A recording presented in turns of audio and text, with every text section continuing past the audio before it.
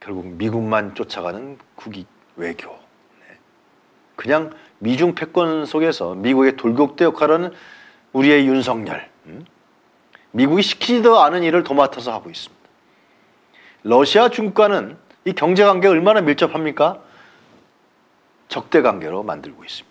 국내 정치는 어떻게 하고 있습니까? 타겟만 삼고 있습니다. 오로지 노동조합, 이재명 야당 대표 공격해왔고 반사 이익만 취하려고요. 그리고 그 공고한 30% 놓치지 않으려고 이러한 분열과 갈등과 반목의 정치만 펼치고 있습니다. 지난 1년 동안 그랬습니다. 통합이 있습니까? 화합이 있습니까? 국민들은 골치 아픕니다, 도대체.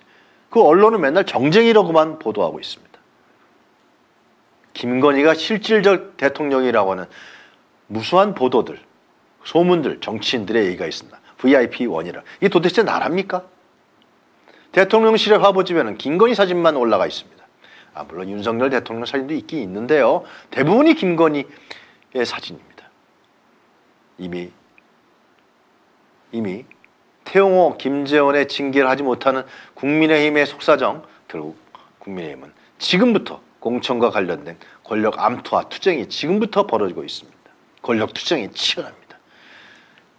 국민들의 생활과 경제 안중에도 없습니다. 그저 자기네들 공천권 얻어서 국회의원 뺏지다는 것만 그리고 자기네 세력 확장하는 것만 관심이 있을 뿐입니다.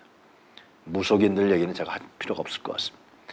제일 중요한 건 그동안 우리가 피땀 흘려 쌓아온 금자탑, 대한민국의 금자탑이 대통령 하나 잘못 뽑아서 순식간에 무너지고 있습니다. 퇴보하고 있습니다. 이거 어떻게 해야겠습니까, 여러분? 가장 두려운 건 전쟁 가능성입니다. 국지전 할지도 모른다. 대만해요. 또 중국과의 패권 문제, 한미일 군사동맹, 한일 군사협력 이것이 한반도의 화약고로 만들고 있습니다. 가장 무서운 문제 중의 하나입니다. 자, 1년 동안 우리는 국민들의 고통과 분노와 그리고 윤석열 정권의 1년은 우리에게 재앙이었습니다.